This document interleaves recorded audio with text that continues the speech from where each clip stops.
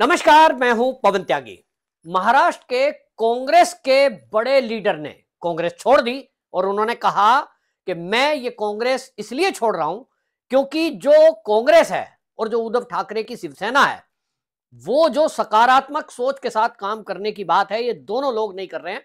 और इसीलिए आज मैं यहाँ खड़ा हूँ, जो एक नाथ शिंदे की शिवसेना है, ये भी एक नाथ शिंदे भी इसीलिए अलग हुए क्योंकि रचनात्मक काम करने के बजाय ये जो कांग्रेस है, इनका एक सूत्री कार्यक्रम है कि मोदी का विरोध करना।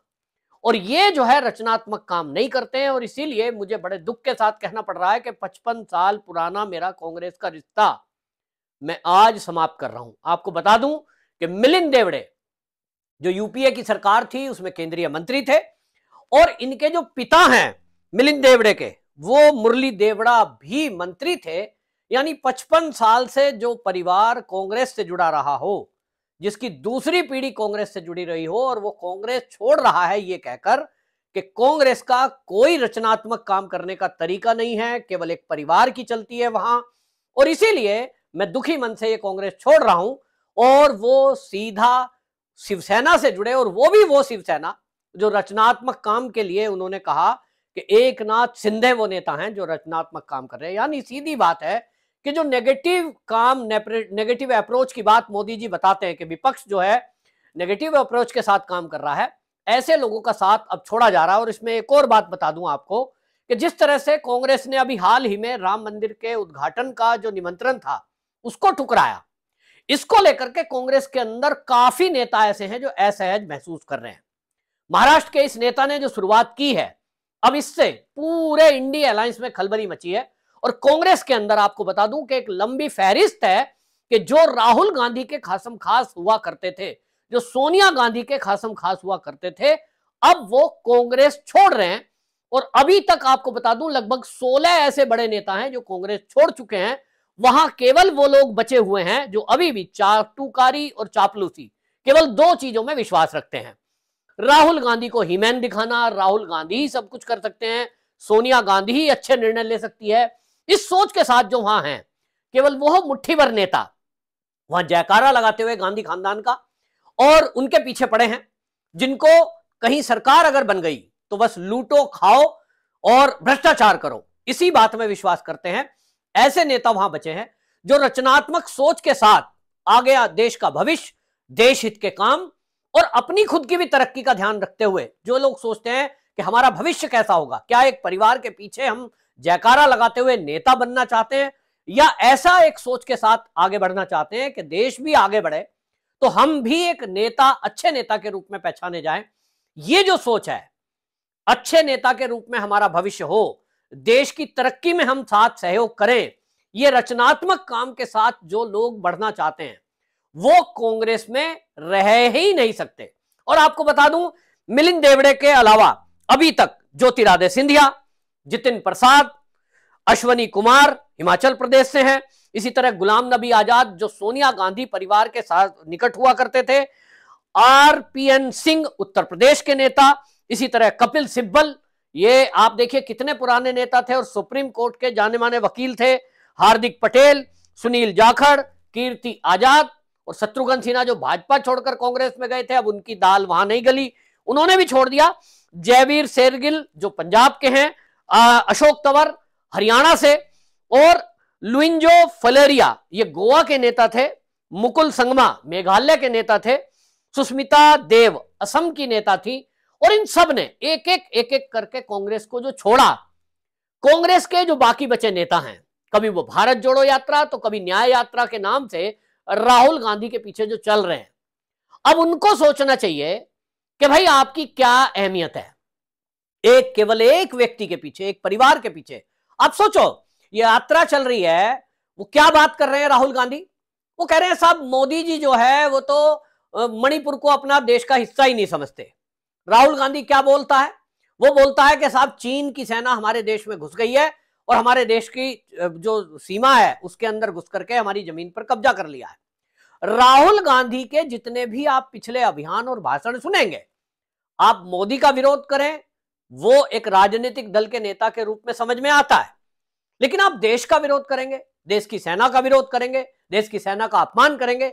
यदि राहुल गांधी या कोई कांग्रेसी नेता अगर ये कहता है कि चीन की सेना हमारे देश में घुस गई है और हमारी जमीनों पर कब्जा कर लिया है तो वहाँ क्या भारतीय जनता पार्टी के कार्यकर्ता बॉर्डर पर पहरा देते हैं? क्या आरएसएस के कार्यकर्ता वहाँ पहरा देते हैं? बॉर्डर की सुरक्षा की ज़िम्मेदारी क्या आरएसएस की है या बीजेपी की है? उसकी ज़िम्मेदारी सेना की है। और सेना के लोग यदि बॉर्डर पर डटे हैं, माइनस फोर्टी डिग्री टेम्परेचर में लद्दाख में हमारे सैनिक हमारे देश की रक्षा के लिए दिन रात पहरा दे रहे हैं, और कोई एक आकर दो कोड़ी का नेता ये बोल दे कि हमारी तो सीमा में चीन के सैनिक घुस गए, हमारी तो ज़मीन कब्जा दी, सोचिए उन सैनिकों के दिल पर क्या गुजरती होगी जो माइनस फोर्टी डिग्री टेम्परेचर में हमारे देश की सीमाओं की सुरक्षा के लिए वहाँ बर्फ़ में बैठे हैं, अपना परिवार छोड़कर, अपनी जान को जोखिम में डालकर और कोई एक ये कह दे कि साहब सीमा में तो घुस गए। यानी आप उन सैनिकों का भरोसा तोड़ रहे हो, उनकी बेजती कर रहे हो। अगर सीमा में कोई घुस गया तो ये अपमान किसका है? ये देश का अपमान है, ये देश की सेना का अपमान है। लेकिन राहुल गांधी और उनके जो चमचे हैं, उनको इसमें कतई गुरेज नहीं लिखता और वो एक झूठ बार बार बोलने की कोशिश कर रहे हैं, क्योंकि इससे चीन को कहीं ना कहीं फ़ायदा पहुँचता है। चीन अपने आप में यह स्थापित कर लेता है कि चीन की सेना भारत की सेना से मज़बूत है, जबकि ये सच्चाई नहीं है। तो ये जो राहुल गांधी की नेगेटिव अप्रोच है, और इसके कारण से, तुष्टिकरण के कारण से, और जिस तरह की बातें आप कर रहे हैं, आप देखिए राहुल गांधी के अगर अभी आप पाँच राज्यों के जो विधानसभा के चुनाव हुए, उनमें आप भाषण देखिए, क्या एजेंडा है कांग्रेस का? क्या एजेंडा प्रस्तुत करते थे? या तो फ्री में देने की बात करेंगे, फ्री में बिजली करेंगे जी फ्री का पानी कर देंगे, फ्री बस यात्रा कर देंगे, एक तो फ्री फ्री फ्री। दूसरा क्या एजेंडे में बोलते थे? हमारी सरकार आई तो हम जातिगत गणना करा देंगे। अबे भैया, ये कौन सा काम है? जातिगत गणना क्या कोई काम है? क्या देश का विकास का कोई काम है? अगर राहुल गांधी या कांग्रेसी भाषण देते हुए ये कहें कि हम इतने युवाओं को अपने प्रदेश में रोज़गार देंगे, हम इतना किलोमीटर सड़क बनाएँगे, हम इतने अस्पताल बनाएँगे, हम इतने विश्वविद्यालय बनाएँगे ये तो एक प्रोग्रेसिव बात हुई, लेकिन कांग्रेस के नेताओं के और राहुल गांधी के यदि आप भाषण सुनेंगे तो विधानसभा चुनावों में कभी उन्होंने ये नहीं गिनवाया कि हमारी सरकार अगर राज्य में आती है तो हम इतने विश्वविद्यालय बनाएँगे, इतने हम जो है हाईवेज बनाएँगे। ना! हम क्या करेंगे? जातिगत गणना कराएँगे। जातिगत गणना से क्या होगा? हिंदुओं को जाति में और ज़्यादा बांटा जा सकेगा। यही तो कांग्रेस ने किया है। जो अंग्रेज़ों ने किया, वही कांग्रेस कर रही है और आगे भी बांटने का काम कर रही है। और इसको अपनी तरक्की में गिनवा रहे हैं। तो देश ने इसको बुरी तरह नकार दिया और पाँच में से तीन राज्यों में भारतीय जनता पार्टी की सरकार बनी। ये बता रहा है कि कांग्रेस को नकार दिया गया है। अब जिस तरह महाराष्ट्र में मिलिंद देवड़े ने भारतीय जनता पार्टी का जो गठबंधन है, उसका साथ पकड़ा है, उसका एक सीधा रीजन है। क्योंकि देखिए, कोई भी कांग्रेस ही रहा हो, वो अगर शिवसेना एक नाथ शिंदे में गया है तो बीजेपी गठबंधन में ऑटोमेटिकली साथ आ गए। और ये बता रहा है कि जो इंडिया अलायंस है ये इंडी गठबंधन है, इसको बहुत बड़ा झटका है। क्योंकि यहाँ आप सोचिए कि राहुल गांधी पूरे भारत को जोड़ने की बात कर रहे हैं। बात चल रही थी कि साहब हम तो जो है 28 दल हैं, मोदी को हराएँगे। अभी तक सीट शेयरिंग पर कोई बात नहीं हुई है। सीट शेयरिंग पर जहाँ भी किसी नेता ने कोई बात करी है तो बात ऐसी हुई है कि उन्होंने शायद यह कर लिया है कि भाई कांग्रेस के कहने में तो हम मानेंगे नहीं। जैसे पश्चिम बंगाल की खबर क्या है? पश्चिम बंगाल से खबर यह है कि ममता बनर्जी ने कह दिया कि बयालीस में से दो सीट कांग्रेस लेती हो तो ठीक है बाकी पे हमसे बात मत करो। पंजाब की खबर क्या है? पंजाब की खबर यह है कि तेरह लोकसभा की सीटों में आम आदमी पार्टी ने यह कह दिया कि कांग्रेस के लिए एक भी सीट नहीं है। दिल्ली में आम आदमी पार्टी कह रही है, दिल्ली की एक भी सीट पर हम कांग्रेस को एक भी सीट देने को तैयार नहीं है। अब इसी तरह महाराष्ट्र है। मिलिंद देवड़े के लिए जो उनकी खुद की सीट का दावा है, जहाँ से वो दो बार सांसद रहे हैं, वो आप देखिए, मुंबई दक्षिण की सीट है। और वहाँ से उद्धव ठाकरे शिवसेना अपना दावा ठोक रही है। उन्होंने सीधा कह दिया, महाराष्ट्र में हम जो है, हमारी तेरह सीट पर हम पक्का लड़ेंगे। तेरह चौदह सीट आपने घोषित कर दी। भाई कांग्रेस के लिए आप कितनी छोड़ रहे हो? उसकी कोई बात नहीं है, क्योंकि वहाँ एनसीपी के साथ अभी थे वो शरद पवार के साथ। तो आप तेरह, छब्बीस, पच्चीस, कुछ भी आंकड़ा दे दो। बैठकर कोई बात हुई है? कोई बात नहीं हुई है। कांग्रेस के लिए कितनी सीट कोई छोड़ रहा है? महाराष्ट्र में कोई छोड़ने को तैयार नहीं है, बारह तेरह सीटें जी आप ले लो। बिहार की अगर बात करें, वहाँ नीतीश बाबू ने पहले ही घोषणा कर दिया है, साहब, सोलह सीट तो हमारी पक्की है। चालीस में से सोलह उनकी तय है तो सोलह सीट से कम जो है, आरजेडी नहीं लेगी। कुल मिलाकर चालीस सीटें तो बत्तीस तो ये हो गई तो कांग्रेस का कहाँ बचा? टोटल बची विपक्ष के लिए, बाकी के लिए, गठबंधन के लिए आठ। अब उसमें वहाँ जो कम्युनिस्ट दल हैं सीपीआई सीपीआई एम वो भी है। तो कांग्रेस कहाँ बची? पाँच पर। तो भैया, कांग्रेस लड़ेगी कितनी सीटों पर? कुल मिलाकर पूरे भारत की अगर स्थिति करें तो डेढ़ सौ सीट बची। तो कांग्रेस की हालत यह है कि खुद के लिए कोई आधार नहीं बच रहा है और अपने आप को दिखा रहे हैं कि राहुल गांधी वो ही मैन है जो मोदी को हरा देगा। अपने लोग साथ नहीं है, अपने परम मित्र छोड़ रहे हैं। ये मिलिंद देवड़े ने तो अपनी एक्स पर पोस्ट लिखा है।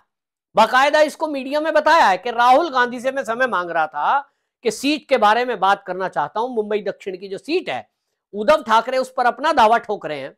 तो भाई, मैं बात करना चाहता था, लेकिन राहुल गांधी को बात करने की फुर्सत नहीं है।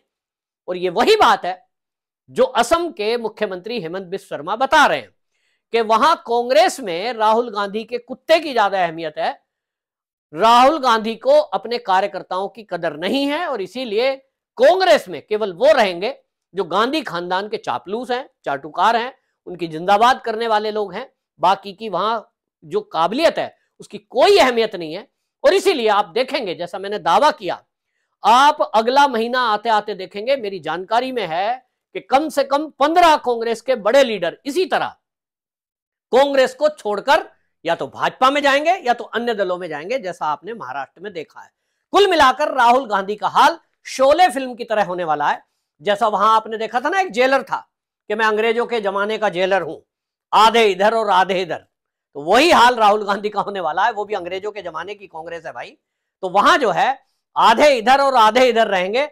राहुल गांधी के पीछे जो शून्य रहेगा, वो वो लोग हैं, जो राहुल गांधी की ही जिंदाबाद, मुर्दाबाद करने वाले लोग हैं। आपने देखा ना, कई बार मुर्दाबाद भी कर देते हैं वो, अचानक में, क्योंकि उनको समझ में नहीं आता कि करना क्या है। तो कुल मिलाकर कांग्रेस का भविष्य अंधकार में है और मेरा दावा जैसा मैंने कहा, उसी तरफ़ कांग्रेस बढ़ रही है कि कांग्रेस 2024 के लोकसभा चुनाव में 50 का आंकड़ा इस बार पार नहीं कर पाएगी। वंदे मातरम।